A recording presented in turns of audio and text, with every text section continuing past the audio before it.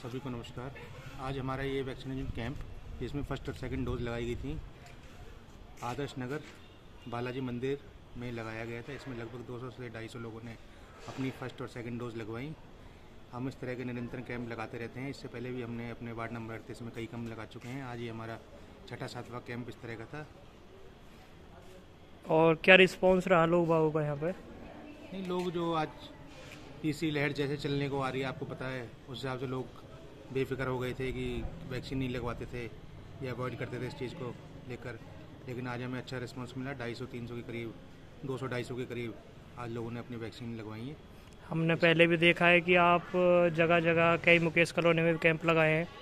तो आप किस तरीके से लोगों को और जागरूक करोगे करेंगे कि जो वैक्सीनेशन के नाम पे आ, मन में दुविधा हुए लोगों के तो आप क्या उनको संदेश देना चाहोगे?